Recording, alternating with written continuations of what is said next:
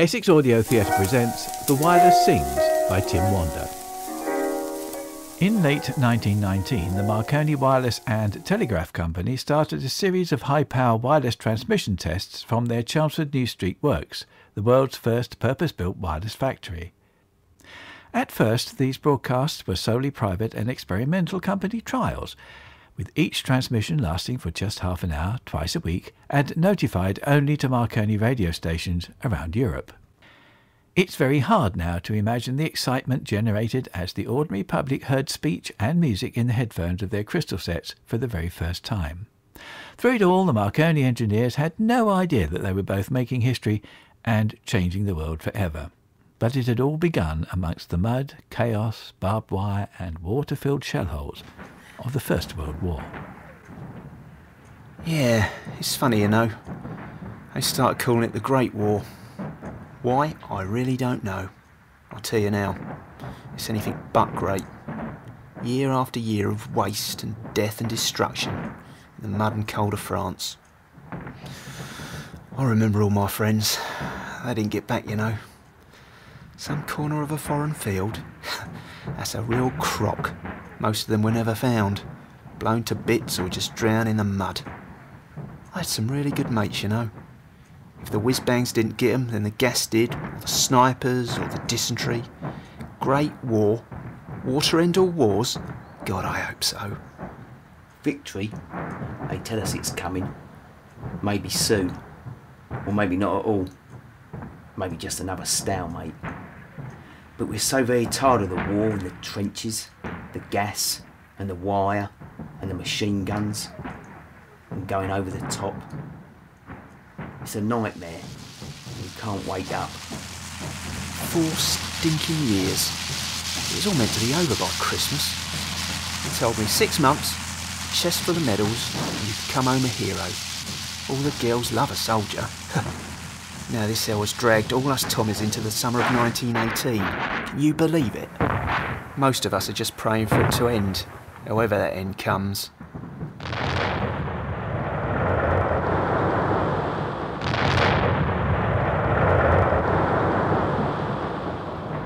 Roger, Roger, Baker 2-7. I read you 5 by 7 I say again, 5 by 7 Confirming your shell full.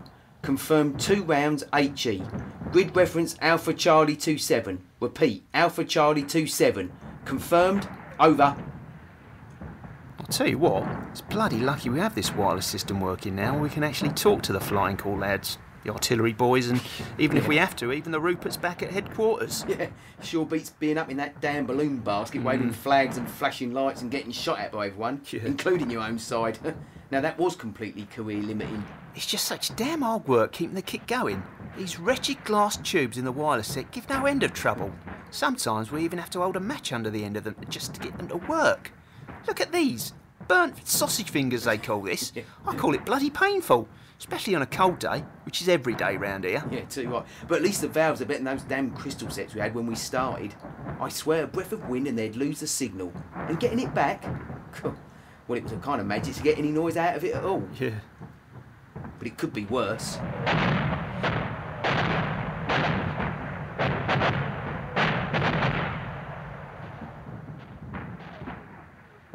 You know, a funny thing happened just the other day. I was waiting for a call from the battalion aid station on the wireless, and instead I heard that French operator up the line playing his violin over the wireless system. Get away. And by the way, they call it a radio now, probably because it radiates out or some such. Anyway, the music sounded right good, it did. So me and some of the lads in the ops room, well, we sang a little ditty back to them for fun. And because we were running into the big wire area up the tree stump, people heard it all over the trench system. I swear I heard them singing along as well. What a laugh. You know, when this little lot is over, I reckon this radio lark has a great future.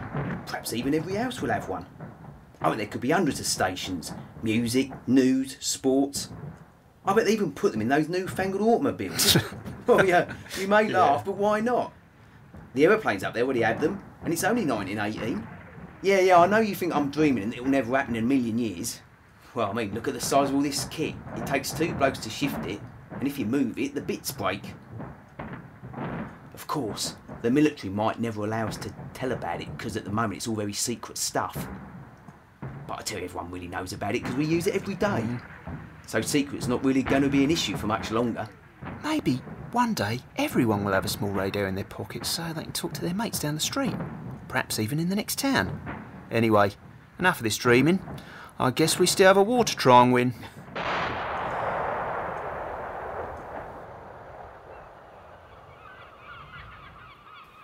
So, finally it's all over. It's finally ruddy over. The war to end all wars. God, I hope so. Anyway, it's back to the real world for me now. I wonder what it's going to be like. I still got all my arms and legs, and apart from smoking too many woodbines, when I get a good bath and rid of a few lice, I'll be all ready for a bit of peace. My uncle's working for Mr. Marconi's wireless company up in Chelmsford in Essex. I think he can get me a job. They made all our military radios, and we all trained with the company down at Marconi House in London when we were learning all the radio stuff. They even taught me Morse code. He says there's going to be a big business in building high power transmitters. I heard tell of over 6,000 watts. Blimey. Hell, we only had 100 on a good day, and we could reach miles. Mind me, we still got some nasty shocks off it. Just think, if they can make it work with that kind of power, then you could hear it all over the country. Maybe all over the world. And remember all us that made it home? Mm. We all know how to build the kit to listen in. It's actually really easy. As long as the missus doesn't mind the aerial hanging from the clothesline. This is BBC Essex. I wonder what Essex. they can dream up. God, they might even take on the music hall and try and entertain us all. At least it's got to be a better world than that one.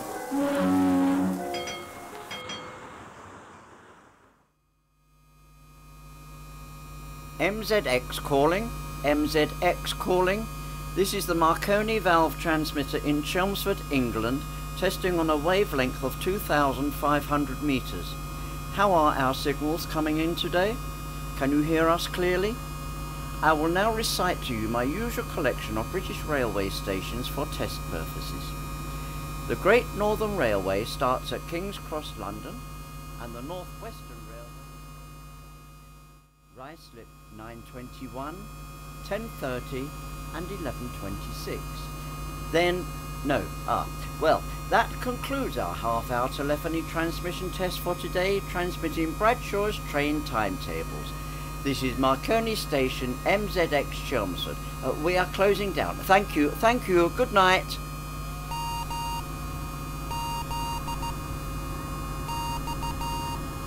So, that's another one done and dusted. But it's really hard work reading this damn train timetable from cover to cover every day. I tell you, Mr. Round, it is making both my tongue and my soul somewhat weary. Hmm. Uh, well, Bill, we, we can't have that. And I think I may have a solution. Arthur Burrows came round this morning. He was just up from the new Marconi publicity department down in the Strand. They may be driving you dotty, but apparently some of the radio hams have been listening in and rather enjoy your train timetable recitals, old man. He even suggested that we read out of a real book, or perhaps even a newspaper for tomorrow's test. Arthur says, keep it precise and punctual. But really, only our boys shall be listening anyway. Damn capital idea. I'll pick a newspaper up at the station in the morning. Better keep it light. Maybe I'll read some sports results. He also thought we should try and transmit some musical instruments, or even try a singer. That would stretch the microphone and transmitter circuits a little. Well, Arthur is always full of ideas. Mind you, I hear tell that there is a group of musical minded bodies in the works. Mr. White is apparently something of a wizard on the ivories. Also, Mr. Beeson plays the clarinet and his friend plays the oboe. We could try each one in turn. Actually, that could be very useful. I have some ideas for testing and improving the microphone, but I never seem to find the time. Some different audio frequencies would give me a good test range, and I could see what it does to the valve modulation. Just as long as it doesn't sound anything like Bradshaw's. I go to sleep at night counting the intermediate stations between London and Chelmsford. It is slowly but surely driving me mad. Ah, well, never mind.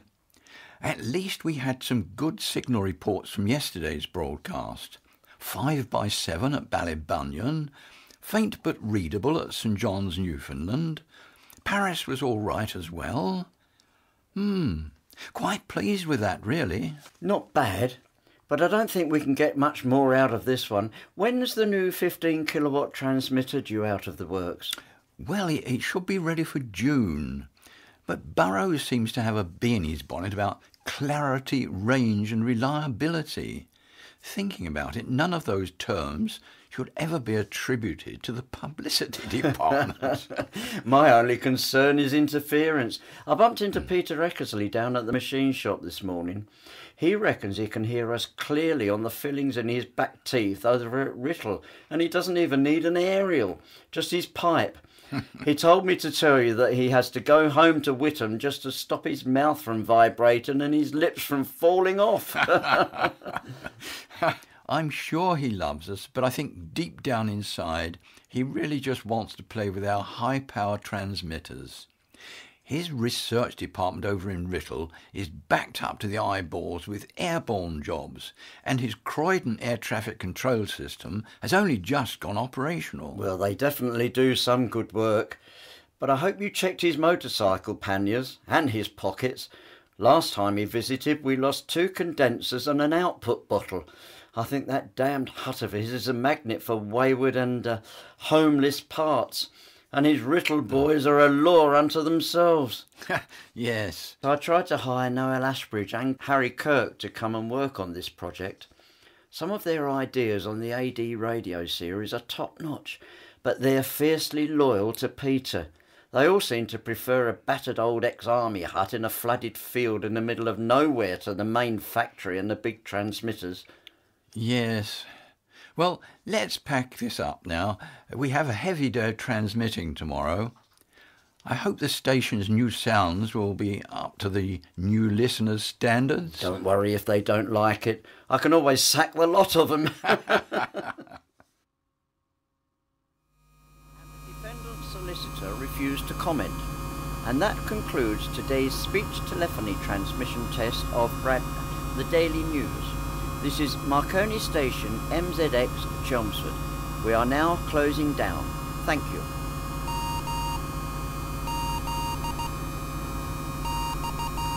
Well done, Bill. Much better. Half the works took an early tea break to listen in. I particularly like your pronunciation of the Scottish places. Very south of the border. It also seems our man Burrows has already been on the telephone again, asking what we've been playing with. His telephone's been ringing off the hook ever since you stopped Bradshaw's. Seems the radio hams really liked your newspaper rendition. In fact, I think Mr. Burrows is coming up to see you personally.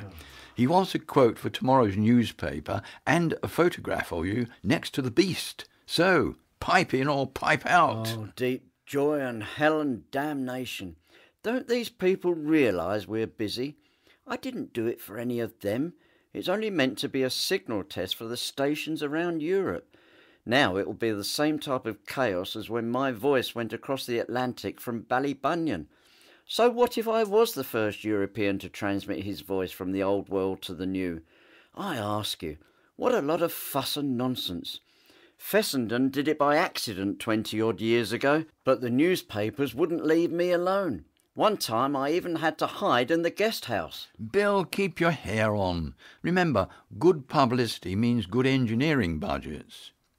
Burrows is apparently really keen for us to try some music. I spoke to Mr. White over in research. He sorted out a plan for tomorrow's concert and found a local group, Freddie and the Funyuns. Apparently, they usually play across the road in the pub on the corner. Oh, all right, but we'll have to explain everything to them. Remember, they've never seen a transmitter, microphone, and probably never even heard a radio transmission. We'll be working with complete novices. If there's a wire to trip over, I guarantee they'll find it. Well, let's just get them here first. I have some ideas for a new microphone, but I still think we'll have problems transmitting more than one or two instruments at the same time. Or maybe I could hum the highlights of the 817 to 1535 from Bradshaw in the gaps. Good morning, gentlemen. Ah. What a stir you've made. Did you see the crowd at the New Street Gate? I counted 30 people, all asking when the next news transmission would be. Well done, very well done indeed. Well, that depends if Bill managed to buy a newspaper at the station this morning. We only got halfway down page three before we ran out of time and thought we'd better skip all the adverts. Oh, quite right. No time for commercials on the radio. But I think we should try some music. Can we transmit some musical interludes? Gentlemen, can I remind you this is all still an engineering test? I'll read what I want to as long as the Marconi stations are listening. Anyone else is just getting a free show. Yes, yes, I understand that, but we must control this and move quickly. It would be very good publicity for the company. Speak for yourself. Today I was told that my voice sounded sort of funny by the girls in the canteen. They also think I should be a little less formal. Well, that's all well and good, but I've agreed with the management that tomorrow night we'll do a transmission with the local music group. I can't remember their names just now. Well, the singer is called Miss Winifred Sayer. Apparently she's quite good. Yes, that's right. She's also coming in with a group. Is anyone listening to me? I tell you, we'll have problems. Transmitting a voice and musical instruments at the same time, it just won't work. I'm sure you'll do the best you can. Well, tomorrow's another day. Now it's time for tea. See you all in the morning. This head cook and bottle washer is going home. I'm sorry, Bill. I've been trying all day with Mr. McLaren from research. The piano just will not transmit properly. Whatever I do with the microphone, it howls around, and the valves absolutely hate it. Yeah, I thought so.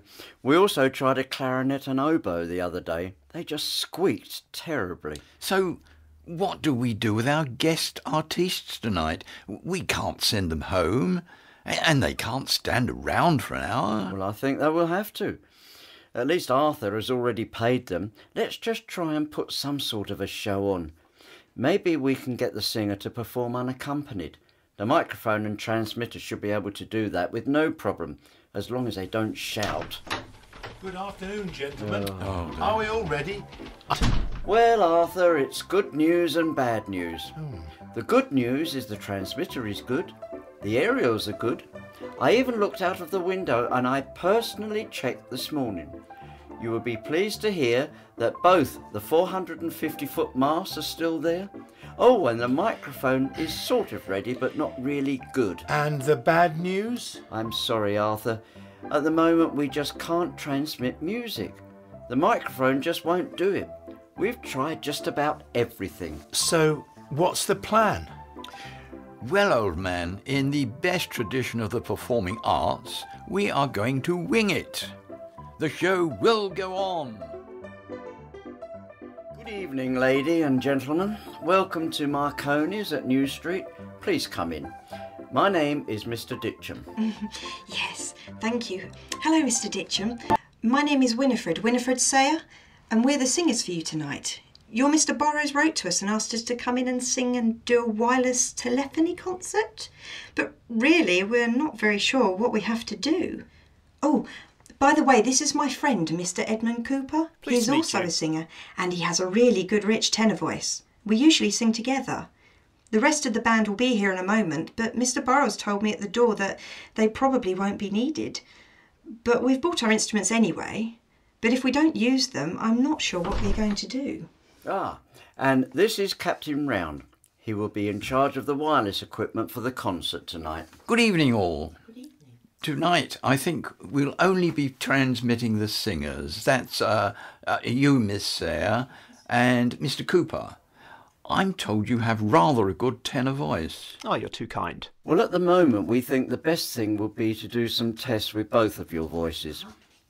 Performing alone for the moment. Uh, let me show you where you'll be performing. Well, then, here we are. I'm afraid that this is the, well, I suppose you could call it a studio. It's actually a packing shed. I don't think the acoustics are, well, perfect, and I'm afraid it is a little untidy and a bit dark and a bit uh, cold, but never mind. Sorry about the hum. That's the generator next door, but after a while you won't notice it.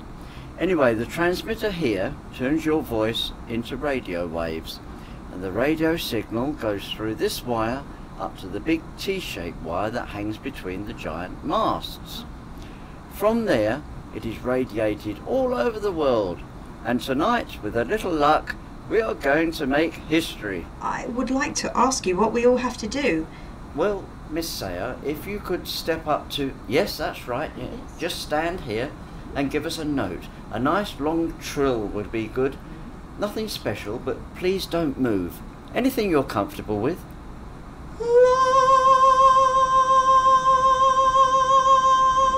Oh, yes. Yes, that's very good. Thank you. I say, Bill, that really was rather good. Clear, no distortion, no problems at all. Excellent. Now, Mr. Cooper, uh, could you do the same thing? Y- yes, please. Uh, just stand in the same place. Oh. Yes, thank you. Hmm. Well, Bill, did, did you see that? Uh, The valves were blushing horribly with Mr. Cooper's voice. No doubt about it. I, I, think we'll go with Miss Sayer. Thank you both. Uh, Miss Sayer, it seems that tonight the transmitter really likes your voice. Congratulations. Tonight you will give the first live concert for the Chelmsford station.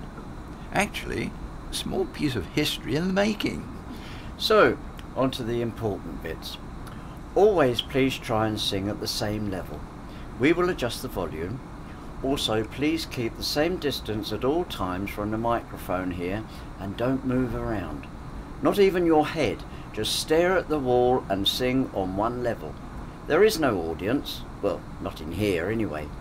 And please be careful of the wires. And remember, those glass tubes are very hot and everything has live electricity, so it's very dangerous. And never ever touch that wire. And when we are transmitting, try not to touch anything metal. Hands in pockets at all times is probably best. Uh, yes, yes, and please, please remember that anything you say and every noise you make will be sent all over the world. So, no coughing, sneezing, snorting, and definitely no comments or talking or rude words of any kind. Any questions? No? Oh, very good.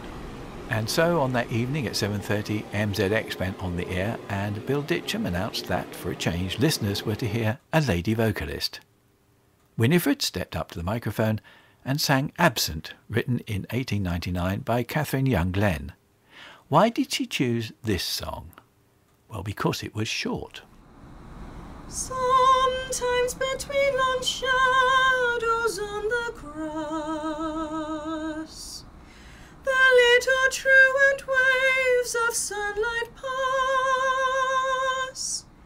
My eyes grow dim with tenderness the while,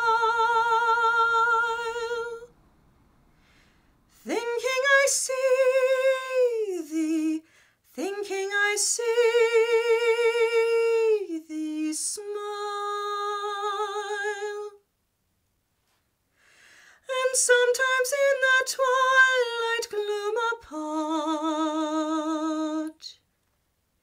the tall trees whisper, whisper heart to heart. From my fond lips the eager answers fall. Thinking I hear thee, thinking I hear thee call. This first Marconi concert was a great success. Now, for a brief period from the 23rd of February until the 6th of March 1920, the Chelmsford Engineering Tests became a regular, scheduled series of 30 minute broadcast radio programmes. It seemed that the future of radio broadcasting was looking very bright. Mr. Ditcham, Mr. Ditcham, have you heard the news? Now then, now then, lad, slow down. Tell me precisely what news has you running down the corridor and bursting in on me like a whirling dervish. Sir, It's all around the factory. The great Australian singer, Dame Nellie Melba, is coming here to Chelmsford to sing for the Wireless. Our Wireless. It's amazing. It's. Last time this was mentioned, I recollect she called me a young magician and assured us that her voice was far too good for our magic play boxes. I wonder what changed her mind. Oh, let me guess. Probably a large amount of money. Well, Mr. Ditcham, it looks like we've caught something of a storm. It seems that the indomitable Aussie lady is actually going to grace us with her presence and come to Chelmsford to sing for us. So I have just been informed by our young and very excited Mr. Davidson. So I have to ask, does our esteemed publicity manager know just how much this will all cost us? According to Mr. Burrows, absolutely nothing.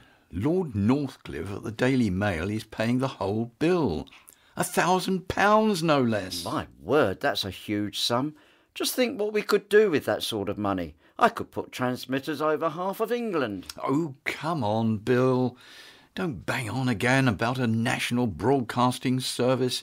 It's years away, and we have to make these beasts an awful lot more reliable. And you need to fix the microphone before we all get lynched. But credit where credit's due. Arthur has done an amazing job getting Madame Melba to come here. This would be a big leap forward by us. Yes, or a complete and utter disaster. If we get this one wrong, we'll all be looking for new jobs by the time autumn comes. No such luck, I'm afraid. Get this one wrong, and Burrows will have us all dragged to the tower. Keeping our heads will be the biggest problem. Mr. Burrows wishes to address the whole engineering department on the factory floor. Now, now, gentlemen, settle down, settle down, please. I'll make this brief. Uh, I have short prepared statement for you all. I believe it is common knowledge that the famous Australian prima donna soprano none other than the famous Dame Nellie Melba, mm. has agreed to do a concert here at the Marconi Works in Chelmsford oh, to be relayed via wireless throughout the ether to all our friends out there. Mm. This is really a great honour, and we must all rise to the occasion. Mm, it's the first time anything like this has been attempted anywhere in the world. Oh, Gentlemen, we will be the first.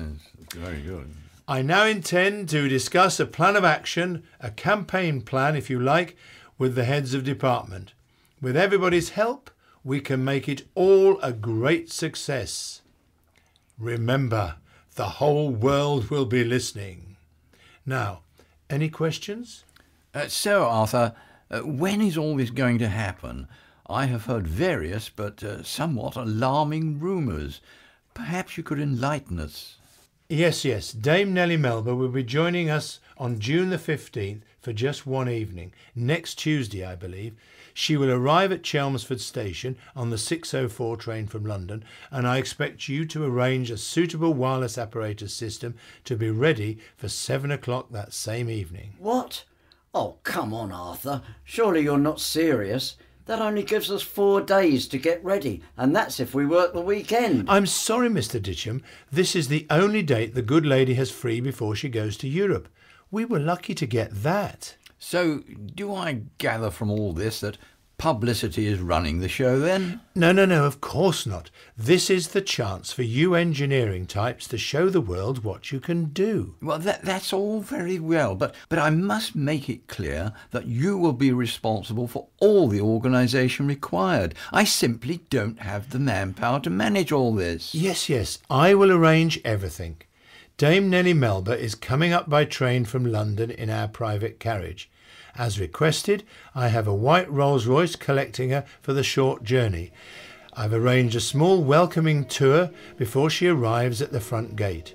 She will dine in the director's dining room with her private secretary on um, a meal of unleavened bread, pink champagne, and partly cooked chicken, a special menu she's requested. Then I will show her round the works on the way to the microphone, and then um, onto the concert studio. We should be with you at about 7. I think the concert should start at 7.15. So, how long will the concert last? I have yet to speak to her private secretary in detail, but I'm hoping for at least half an hour, possibly more. What happens if the transmitter breaks down? It's let go once already this week. Look, Bill, I'm relying on you and your team to get this right. I simply will not entertain any further worries about failure or breakdowns. Now, will that be all, gentlemen? Oh, if so, thank you and see you next week. Good luck, everybody. I know. But Arthur Burrows is adamant. He doesn't want the illustrious Madame Melba to perform in a deserted, cold, old packing warehouse next to the transmitter and that noisy generator. Even if we have to decorate it and carpet it, and even damn well paint it. Really, round old man, we have to draw a line somewhere. I'm worried that this is getting out of hand. I have to say, I think we're in no shape to do all this. Remember that all this began as a simple series of engineering tests for just two weeks back in February. It's been interesting and fun, but this is getting serious. Half of Fleet Street's finest are camped outside. Well, I think it's now got a little bit bigger than asking Marconi stations to listen in to your train timetables. Just so everyone is aware, I've had to stop everything else and even steal some bodies from research. And there are still a lot of questions we have to answer. What frequency can we use? We have already interfered with half the nation. Well, I see no reason to change. We will continue to use the Poldhu frequency at uh, 2,750 metres. Actually, I think 2,500 metres. Let's move south a little. It's only for one night after all, and the hams will easily find us. Well, with 15 kilowatts, they won't be able to miss us. We could light half of Chelmsford with what we are sending out tonight. So, really, the only change will be that we don't get the chance to transmit in the morning, just the evening concert, so that we get just one chance to get it right and no setup time. That's just, well, marvellous. Yes, it's got to be a flat out effort from everyone. So, where is the microphone going to be? Well, the current plan is to clear out the executive dining room on the first floor at the front of the building, put up some red velvet curtains. I, I, think they also want to change the carpet. That's well over 500 yards to the transmitter, and that's an awful lot of cable to run through the works and corridors. Do we have enough in the stores? I think so. I'll sign the necessary chits. Arthur's given me carte blanche to get all this done. Uh, excuse me, sir. We could run the cable straight down the yard and up the back steps. It's only for one night. Hopefully it won't rain and it will save us a lot of cable. That's not a bad idea, lad, as long as no one goes near them when we're on air. But I still have a bad feeling about all this. The induced voltage has got to go somewhere after all. When we start to transmit, the aerial is right overhead. I just know that something is going to get really warm. Well, no point in debating it all now. Tonight's test broadcast goes out at 6:30 so we can't do anything with new cables until the morning. That only leaves us tomorrow to set up the room and test the cabling. And don't forget that you have to do all the washing up and the bottle cleaning. Yes, thanks for that. Apparently, Dame Nellie is now most concerned that she won't be able to actually hear her audience or their applause. And she would like some friendly faces around. It would be nice to ask Winifred. Well, I mean, Miss Sayer to come along. Yes, lad. I thought you took quite a shine to Miss Sayer. Why not? We have a big list of dignitaries and VIPs. It starts with the boss, Mr. and Mrs. Isaacs, Lord and Lady Northcliffe, and it, it continues on. Well, it looks like a full house and then some. So, who are we going to get to play with Dame Nellie? I'm not sure that Freddie and the Funyuns would be appropriate. Mind you, poor Miss Sayer had to perform solo. Well, she is bringing her own pianist, but I've already told Arthur we can't really transmit the piano too well alongside her singing. But apparently that is acceptable as the power of her voice alone will carry the day. Or so her private secretary says. Yes, I, I think we'll have to watch the lady's powerful voice. The distance between her and the microphone will be critical if we're not careful, she will blast us out. The last thing we need is severe distortion. Actually, I was going to raise the problem of the microphone. I have some ideas on that myself, but they won't be ready to even try before Madame Melba turns up. Well, we must sort out that microphone. There's an increasing amount of reverberation when we have large sounds. I have an idea to build some sort of cone around it to protect it. It will keep the piano sounds out as well. Something like this. There we go. One perfectly good but slightly X cigar box microphone shielding cone. Mr. Davidson, get this fitted at once. Just tape it on. We'll try it tonight. And if it's all right, I'll get onto the works to make something more permanent, if we have time. So, Bill, are we going to rebuild the whole transmitter? Good Lord, no! We don't have the time or enough bits in store. But this last batch of valves is highly suspect. One failed inside the first five minutes on Tuesday. I think it had air in it. Yes, I agree. It simply won't do. I've had a word with the Marconi Osram Valve Company, and they suggest we should change all the output bottles for tonight's broadcast. And if they run well, we'll keep them in for Dame Nellie tomorrow, as they'll be bedded in. So it's dinner jackets and bow ties for everyone. The engineers, jackets please at all times. Even if it is on radio and no one can see us, remember there'll be lots of press and photographs. Well, that's about it. I'm afraid, chaps, it will need some more evening work, but there should be time to nip off home for a cuppa and even a bite to eat before we get back to it all. All right, gentlemen, I, I think that's about it. Let, let's do it. Very well, gentlemen. Five hours to show time. And tomorrow we will have Madame Melba. I think we ought to test the ship. Mr. Davidson, try the transmitter. Hit the key, press it firmly, and don't let it arc.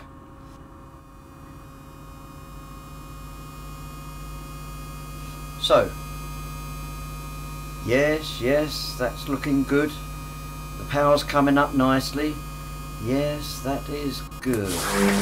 Whoa! What was that? Quick, shut it all down. Shut it down now. Mr. Ditcham, Mr. Ditcham, all the microphone cables are burnt out, all the way down the oh. yard. There's smoke. It's burnt like a fuse. It's melted, even up the stairs and into the dining room. It's burnt the carpet. Oh, damnation, just as I thought. It must be the induced current, and it looks like the output bottles have gone south as well. Must be the reflected power. Oh, I wonder what else has gone. Bill, sorry to interrupt. It's the reporter from the Daily Mail, one of Northcliffe's men. He's been hanging around all day for you. He says he only needs ten minutes. After all, his boss is picking up the bill. Not for me, he isn't. And I'm afraid this really is not a good time. I'm just a touch busy. No, no, it's no good. I'm afraid this is seriously damaged. Arthur will have no option but to move the concert back to the warehouse. The microphone cables have completely burnt out. Half the transmitter is in pieces and there's no way we can protect them. Oh, but we have a problem. Well, several problems. Actually, several uh, technical hitches. Basically, it has all gone bang. Well, more of a fizz, really. It's too late to cancel. I can't cancel. We simply can't. Don't panic. We can rebuild the transmitter.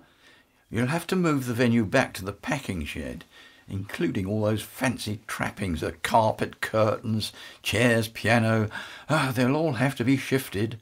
We'll do the microphone. I already have a couple of lads whitewashing the walls. The smell will have cleared by the time she arrives, but I really can't spare anyone else.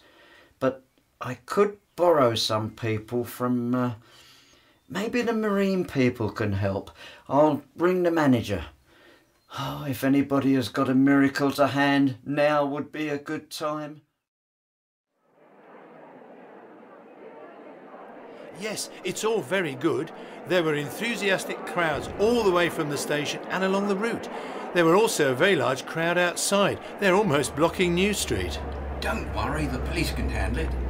Hey, look, look, Sharp, here she comes.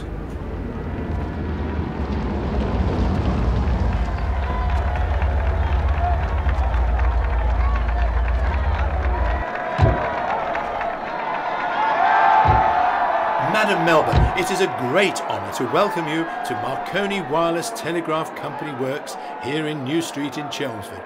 It's a great privilege to have you here to sing for us this evening.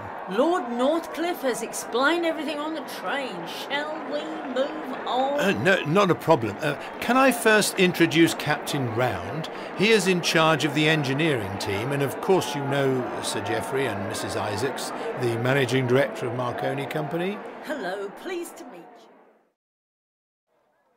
So, just where is this magic playbox thing I have to sing to? Uh, well, uh, Madam Melba, the most important part of it all is the, the aerials. Our aerials, they're all the way up there, hanging between the two large masts. Uh, they're very tall, nearly 450 feet high, 18 feet across.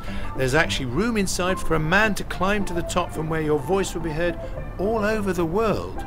Young man, it's all very impressive, but if you think I'm going to climb up there, you're sadly mistaken. Um, or uh, shall I leave now? No, no, no, no, Madam Melba, my mistake. This is wireless. You will sing in a special room with a, a, a radio transmitter, and, and only your voice will travel up those wires to the masts and then across the world. You will not have to climb anywhere or even leave the room to be heard by thousands of listeners in their homes. Well, that's a good job. I have a terrible head for heights. Just where is this infernal wireless apparatus that I'm supposed to sing for? Madam, if you would care to step this way. This is the transmitting room where you will sing. Uh, I'm sorry about the Spartan surroundings. We have specially decorated the room, put in all these thick velvet curtains and a carpet. Well, first of all, we'll have to get rid of them. I'm afraid there's simply no use at all. They'll spoil the sound. You there, my good man, quickly now take all of them down, fold them up, and place them well out of the way and be quick about it. Oh, y- yes, very good, very good. Uh, and of course, the new carpet, we, we put this in just for. um, No, no, no, it's far too thick. It'll deaden the sound. Roll it up immediately. Take it away. Come now, chop chop. It all has to go. And this is the uh, microphone. You sing into this cone just here. Why, this is nothing more than someone's hat stand with an old telephone handpiece hanging from it. And just what are these? These these flap things? Why, they're old bits of old cigar box stuck on. Oh, I hope everyone isn't going to listen to me by telephone. They tried that in Sweden, you know. The quality is really very poor. This is not what I wanted at all. No, no, no, no. As I explained, Madam Melba, this is wireless communication. Here at Marconi's Wireless Telegraph Company, we do not need any wires. Your voice is sent out by a radio system. Its special waves travel through the ether without any wires. No telephone lines are needed. I assure you that the quality will be excellent. Well, that remains to be seen. Remember, I have been unhappy about all this from the start. My music and my voice are not subject for willy nilly experimentation by your wireless wizards. So, shall we eat now? Oh, I must rest before my performance. Certainly, Madam Melba. Please follow me.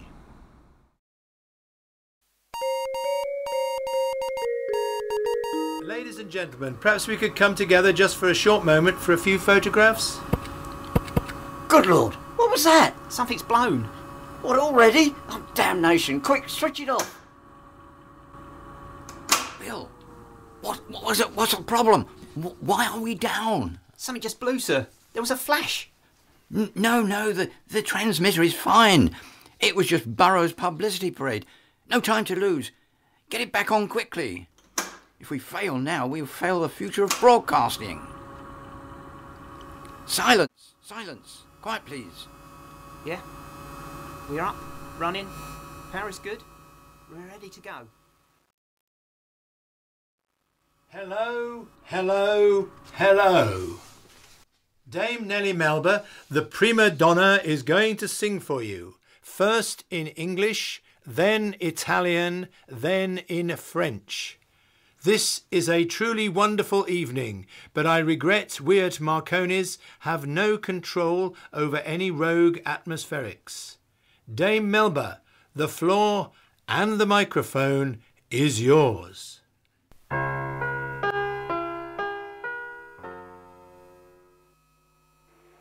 Going. So far, so good. I'm a little worried about the anode currents and the voltages look a little strange, but it's all going out very well at the moment. Good, good. Uh, keep me informed. It sounds fine, and it really is going very well. The audience is packed in, and the good lady is belting it out. What's that voltage? The grid current's rising. I think the rectifier's burning out. It's not looking good. It's going to let go. Sir, the wave meter and the ammeter, they're off the scale. I know, lad, I'm watching. There's nothing we can do at the moment. Let it be. We'll see what happens. Damn and blast it, why now of all times? It's finally let go. We're not transmitting. We are definitely off. It's not going out at all. Nothing. It's totally dead.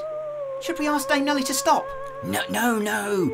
Don't upset the good lady. Re- remain calm and, and replace that valve. I'll get Burrows to go out there and read the script as planned. No, better still, I'll go myself. I may be able to get an encore out of her. At least we can finish the concert off. And if all else fails, we can always blame the bad atmospherics. Hurry, lad, get the spare valve. On the shelf, the brown box. W- Watch out, it'll be hot. How? I'm sorry, sir. Oh, it's only the old one. Never, come on, come on. Never mind that. Get the new one in. And the fuse is blown apart and melted. Oh, switch it all off first, lad. We don't want to lose you now. Mr. Ditcham, there's no spare fuses of the right size. All right, lad. Mark 1 repair kit. Don't ever let me catch you doing this. Pass that screwdriver. There we go. Instant fuse. That won't blow in a hurry. I will get out there and keep her happy and try to keep her singing. You handle the crowd and the VIPs and leave Bill and the team to do the rest. Ye- yes, good idea. Good, good, good, good. I swear that man and I are going to have a serious disagreement one day. Right, I'm off. I better go and help him. He looks fit to bust. I think it's fixed, Bill. Does look normal. I'm going to take over the mic for a while. Right, we have it all under control.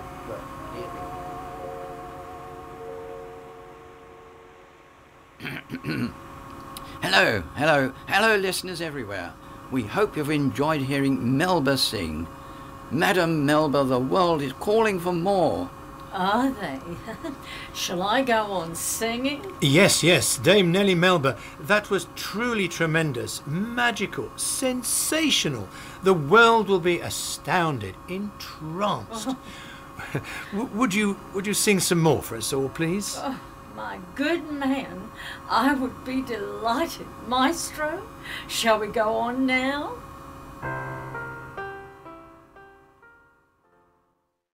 Good morning, all. No big crowds outside then, like the first news broadcast. Well, a few well wishers. Yes, a few people dropped in this morning, and Arthur has a host of journalists arriving from London mid morning. He may want you and I to meet them.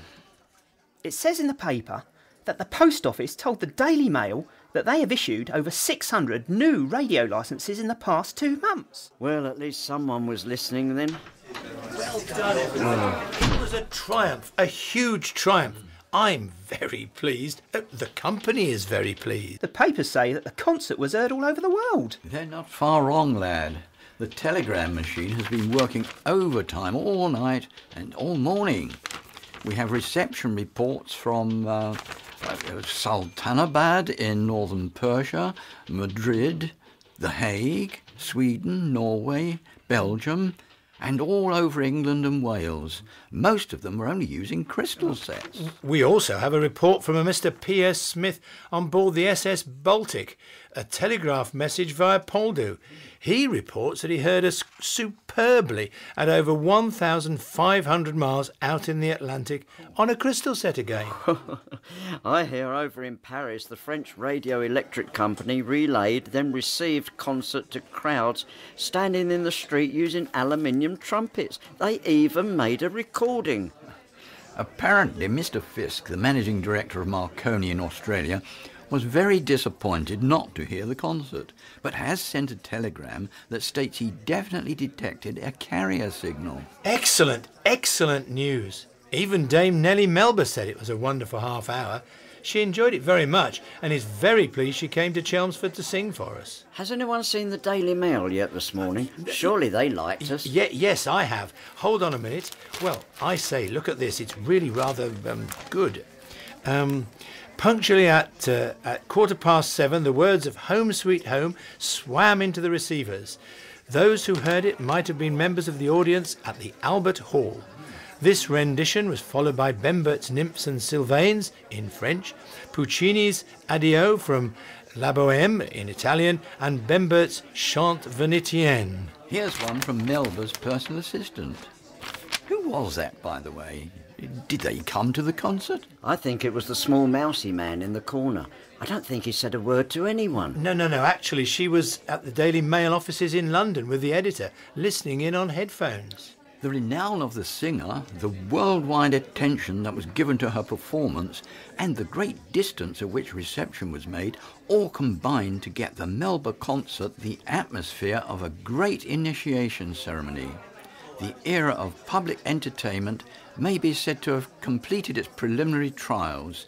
We still had to do something about the interference, you know.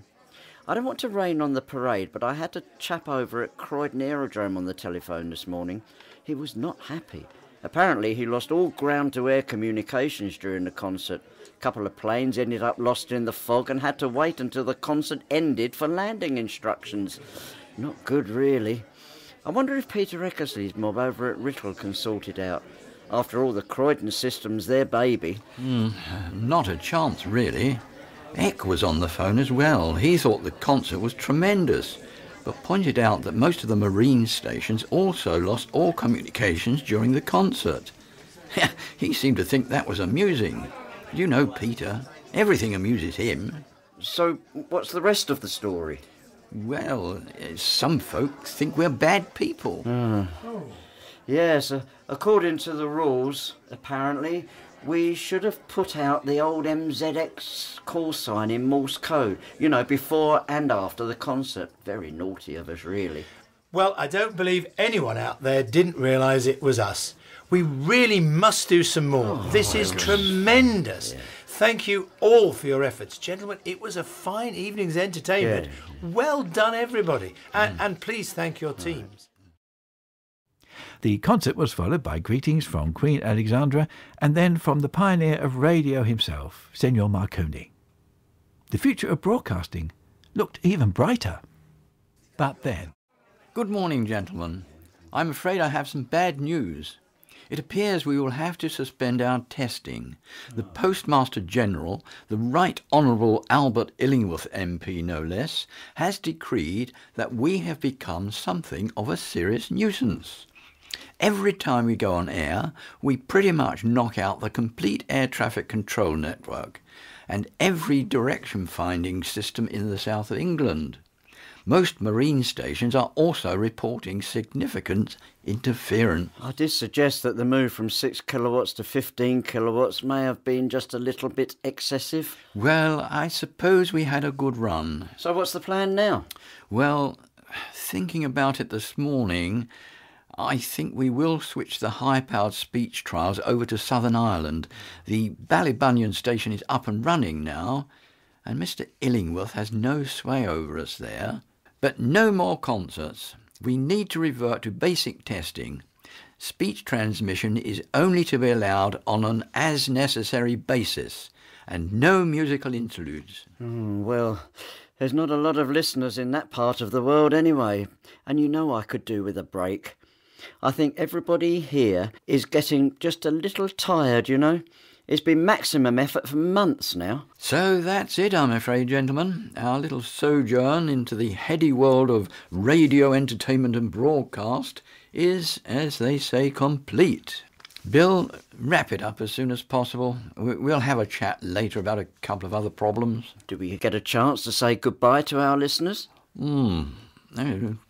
Tricky question. I, I suppose so. Uh, but keep it short and don't transmit any music. It's time someone else picked up the baton and started to run with it. We really have done our bit. I wonder who that will be.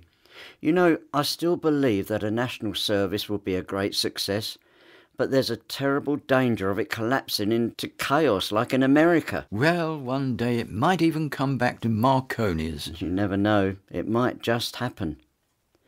And I hope it happens soon, because what we have done here is really important. Britain's first radio voice, MZX, closed down without ceremony on the 23rd of September 1920. All the radio equipment was moved from the Chelmsford New Street Works to Southern Ireland, and the nation's crystal sets lapsed once again into silence or echoed with the monotonous clatter of Morse code. The nation's radio amateurs, backed by popular newspaper support, continually lobbied for the resumption of speech and music broadcasting. Just 15 months later, on St Valentine's Day 1922, the future of British broadcasting came back to the Marconi Company and it found a new home in a partly flooded field and an ex-army hut in the small village of Writtle, just outside Chelmsford. The new call sign for the birth of British broadcasting was 2MT or 2 Emma Tock. Hello CQ, hello CQ, this is 2 Emma Tock, Writtle testing, this is 2 Emma Tock, Writtle testing. Are the signals okay? Wave your hand if it's all okay. No waves, no waves. The new Writtle station was run by the irrepressible Captain Peter Eckersley, who, with his young engineering team, were to complete the foundations for the new art of British broadcasting that had been started by Round and Ditcham at New Street. 2MT at Writtle was Britain's first regular licensed broadcast station. It became famous for its humour, spontaneity, and groundbreaking achievements. There may be some jamming. There may be some oscillation. Woo! Sorry, sorry, well, sorry CQ, closing down a moment. Immediately after the Writtle station closed down in 1923, those same Marconi engineers went off to build the new BBC and British Broadcasting on Savoy Hill.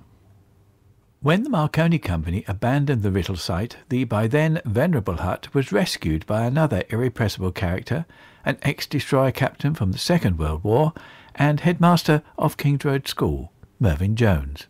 The hut then played the part of a sports pavilion for many years and was then moved to the newly formed Marconi Museum at Sandford Mill, where it now plays a central part of the Marconi exhibition in the engine house of the old waterworks. The interior is set up as it was in the days of 2MT. If you stand very quietly, you may, in your imagination, just hear echoes of the great days of 2 Emma Tock.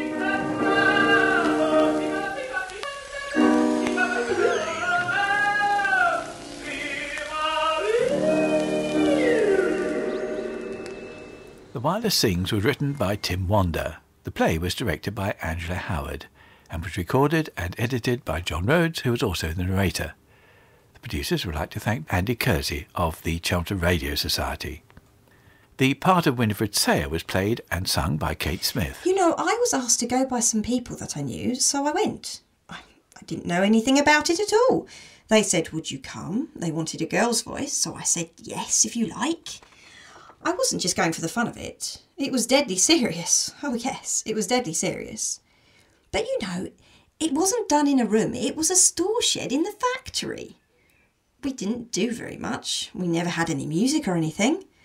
But we were paid 10 shillings each night, and I thought it was marvellous. To tell you the truth, I thought it was an easy 10 shillings.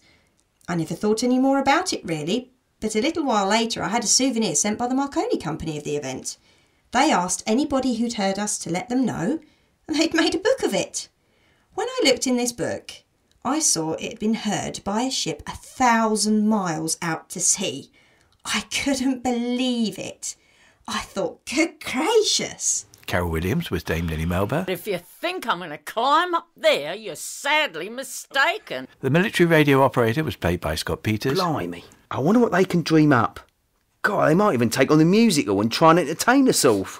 Sam Davidson was played by Darren Egan. well, you know, my neighbours used to come round and sit around the crystal set and the headphones.